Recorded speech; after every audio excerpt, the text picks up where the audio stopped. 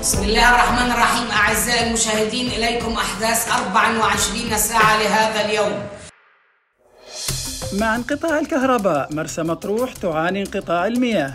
كفايه كفايه كفايه تزايد شكاوى انقطاع المياه في عدة محافظات. بقول لك يا ريس ما تتقلب بينا وتخلص. بقى بعد انقطاع الكهرباء والمياه الأرصاد تحذر من موجة شديدة الحرارة. فينك يا سيسي يا بطل؟ يا سيسي فينك يا سيسي انقذ مصر! انقذ مصر يا سيسي!